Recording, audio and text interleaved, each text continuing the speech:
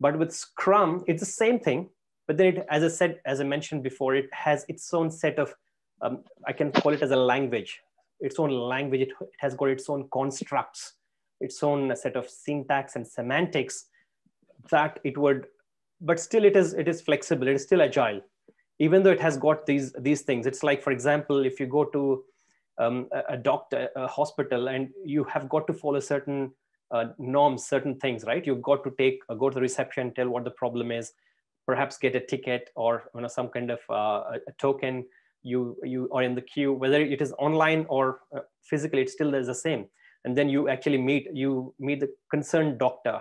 Either sometimes it could be a general physician or it could be a specialist doctor right? So depending on that you would go to the doctor.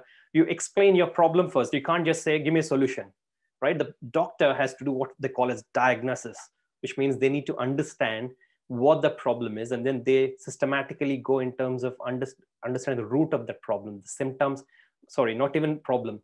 They first would ask you what are the symptoms. Then you would actually they would they would tell you what the real problem is based on the symptoms that you have as a patient. And then they do this diagnosis and then finally they come up with some kind of um, uh, solution that would fit and that would address the problem right so it's a methodology. It's, it's a set of tools. If you can't expect to do any your way when you when you want to you know get a advice from a doctor this is the way only way. Whether it is in, uh, in the us whether in uh, uk europe india anywhere it's the same set of um, uh, same same methodology that you would follow say, perhaps same set of techniques and tools as well you know. In spite of all the medical research that has been done in the last few years it still is the same way that has to be done. You can't do it any differently and with all the, for example, you've got Babylon Health, which is a new healthcare um, um, uh, system which has come through online, very, very popular uh, nowadays. Um, it, it is trying to disrupt the healthcare market. It's still, you can't expect to do anything different. You still have got to tell your symptoms and, and the, the physician on the other, other, other end, whether it's online or not, they would look at the symptoms, they'll have to do an analysis, they would ask you questions, and then they would come up with a, uh, the, the real problem, why those symptoms are coming and then they would address the problem, right? With, either surgery or long-term, short-term, whatever it is. Same with Scrum. Scrum is not different. Scrum is a process, is a lightweight process, an agile methodology.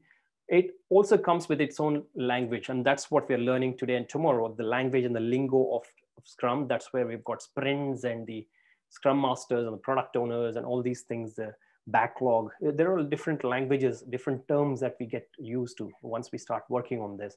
And then it actually has got this backlog, sprint backlog. It has got this concept of a two to four week sprint, after which you have, you, you can deliver that as a new functionality.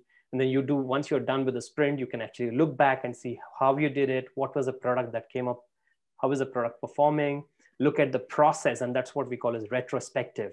Look at how you did the work it's not just the product. So the beauty with Scrum is you actually look at two things separately. One is the product that you delivered, right? And the other one is a process, how you did deliver, how you did the work, how you delivered the work.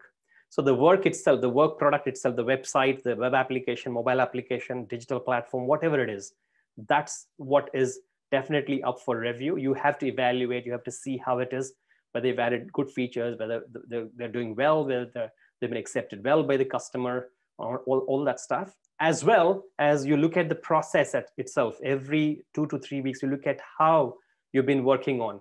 Do you need any mends to that? Do you need any changes to that? Do you need any improvements over that? And that's why Scrum is like continuous improvement. It's not just doing once and then say, hey, I'm the best, I'm the best developer, I've done fantastic. No, you can't just stop there. You need to continuously evolve, continuously improve. And that's why they've got all these different ceremonies and then we this is a continuous cycle of of, of um, you know deliveries and releases. It can't be just one time